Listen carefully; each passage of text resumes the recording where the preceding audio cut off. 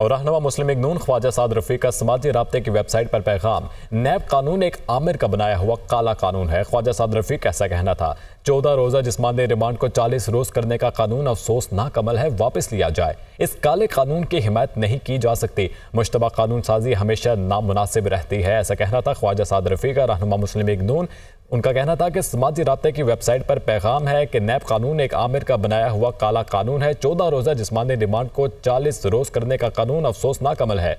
इसको वापस लिया जाए।